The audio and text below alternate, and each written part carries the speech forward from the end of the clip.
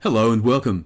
Director and producer John Landis believes his 1981 horror film, American Werewolf in London, was his masterpiece. Now, that's quite a call considering his outstanding directing career that's included such hits as National Lampoon's Animal House and blockbusters like The Blues Brothers, Trading Places, Spies Like Us, Three Amigos, and in 1988, Coming to America.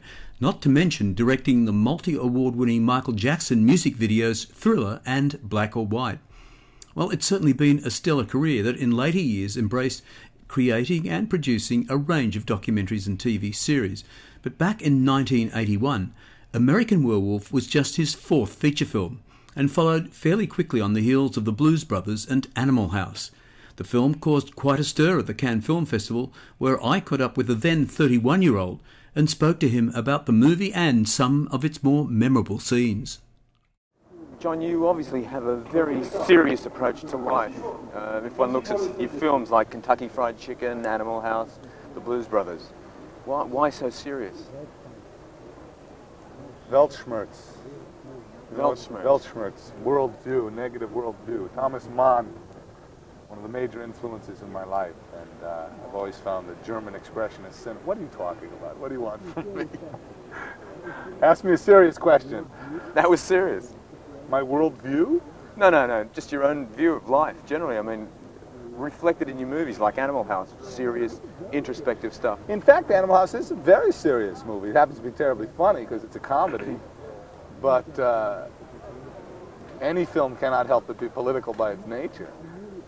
You know, I'm not. I'm. I'm really. I really. I've been in Cannes now for two days, talking to French and Italian, very serious film people, and they keep wanting me to make pronouncements about art and film, and forget it. I make movies.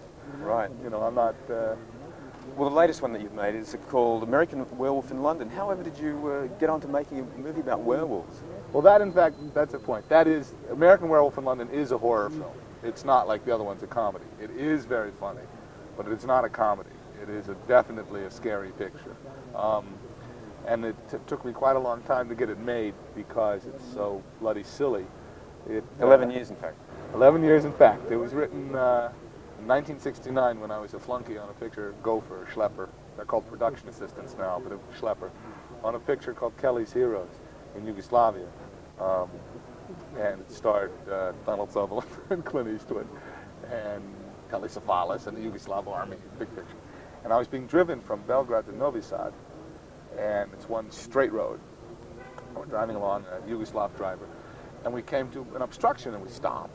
And after about 20 minutes, it's what the hell's going on? I go out to watch, and there were about 50 people, like dress extras. I mean, they were they were gypsies, and they looked like they stepped out of a 40s Universal picture, you know. And it was a priest and a shroud uh, body in a burlap sack that was draped with rosaries and garlic. And I thought, what? And there was a hole right in the middle of the road. They were digging a hole right in the crux of the crossroads.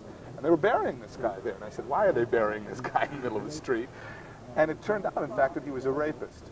Um, the driver, the Yugoslav driver, well, told me he was very, the driver found it terribly funny and said, uh, these peasants, these gypsies, they're crazy. And they were burying him in the crossroads, so he would not get up and cause trouble. And I was fascinated because they absolutely believed it. I mean, they weren't kidding. And I thought, gee, my driver's just, you know, scoffing, and I'm going, what? And what would happen if, you know, he got up? How would we deal with it? And so I pursued that because what I wanted to do was uh, make a film, a contemporary horror picture, take something that's basically ridiculous, take a premise that is absurd, and make it absolutely real. And I hit upon werewolves because they have no religious connotation, really. I mean, vampires are overtly sexual and Christian. Um, why is that?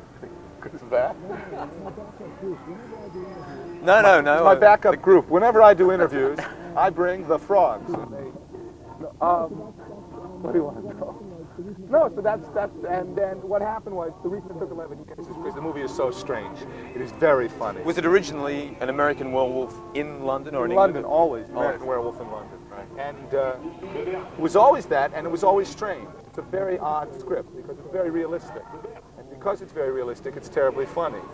Um, how can I explain that to you? Right now, sitting here, John, there are some amazing special effects in the film. Uh, one of them includes the scene where his hand actually grows on screen, which seems quite extraordinary. Can you tell us any, how you did it? Can you give your secret away? Um, Rick Baker, who was brilliant. Again, I wanted the movie to be completely real and to take something as ridiculous as a werewolf and make it acceptable. Our werewolf is not a guy with a hairy face, it's this four-footed hound. um, to see him metamorphosize, transform Yeah. from a human into this, I wanted it all on camera and no opticals, no, you know, lap dissolves, it's all there. And so Rick Baker developed extraordinary things, and you saw a little piece of it with the hand, but that goes on. I mean, the whole body, the skull, is it's incredible. What about the actual beast itself? I mean, is that mechanical? No, it's not mechanical, and it's not a man in a suit, and it's not, it's, it's not a simple puppet. It's not, it's new. It's, it's a dog with makeup. In fact, we tried to build a suit for a dog, but it looked too ridiculous. It looked silly, and so uh, we rejected that. He couldn't take it seriously, I guess. Well, dogs just have difficulty wearing suits, actually, like me. One of the big scenes in the film, of course, was shot in Piccadilly Circus, I believe, in the middle of the night. Were there any problems doing that? Well, sure, because it was shot on a Monday morning between 1 and 4 and a Tuesday morning between 1 and 4. Um, that was quite extraordinary. How did you How did you manage to pull it all together? Can you tell us a little Well, bit about it? movies, when you make a movie, I think Bogdanovich or somebody pretentious said that movies are pieces of time, which they are. They're just isolated moments. And as you know, visiting movie sets, essentially people go, this is boring because you're just getting pieces. When you cut the pieces together, they become very spectacular and violent. Uh, the Blues Brothers and Animal House and the Werewolf, in fact, all have scenes of tremendous urban chaos. And to orchestrate those, you have to make deals with the police. You can't, you can't obstruct traffic. You know, uh, it's uh, quite spectacular sequence, and it was done carefully. Didn't anybody react to it in the in the street? I mean, Not there must have been people, people around. in Piccadilly Circus at four in the morning, other than junkies, you know, and uh, I'm sure they didn't notice. but um, no, we had our own extras. We brought hundreds of people who worked for us. Uh, sure, people. I mean, the most the most wonderful story that people reacting is on the Blues Brothers. Uh, if you recall in the film, the Nazis are chasing Jake and Elwood, and their car goes off a freeway ramp, and then it falls tremendous distance. In fact, 1,400 feet, 140 stories. We dropped it from a helicopter. It's real. We dropped this car from a helicopter, and uh, in Chicago, right on Lake Michigan, on the Chicago River, Lakeshore Drive, are these two beautiful big buildings, like 80 stories, called the Marina Towers. Very exclusive and expensive condominium. We shot that early, early Sunday morning. And one of my favorite things is that uh, helicopter and all this stuff. The police received over 50 phone calls from people in Marina Towers saying, excuse me, but I live on the 51st floor of the Marina Towers, and I think a car just went by my window, you know, having breakfast, sort of, Harriet, you know. Any, were there any similar uh, reactions at all on Werewolf? Well, Werewolf we had in Piccadilly, a wonderful, uh, there's a rather gruesome sequence, uh, uh, police officers decapitated on uh, Shaftesbury Avenue. And we shot that on Shaftesbury Avenue, and, and since we made deals that we wouldn't obstruct traffic, we're timing with the traffic lights, you know. And we have this head is bouncing onto the bonnet of a car and into the street, and it's really quite gruesome. And uh, the light changed. So these traffic's coming. And my car, I mean, my bobbies, running out in the street, stop the car, pick up this bloody head. Okay, go ahead. People are, you know, driving away. I wonder what they thought. I mean, they just sort of drove away with this. I wondered why they didn't read about it in the papers the next day. Well, we look forward to seeing American Werewolf in London. It looks like it was uh, a lot of fun for a very serious uh, kind of story. I hope so. John Landis, thanks very much. Thank you.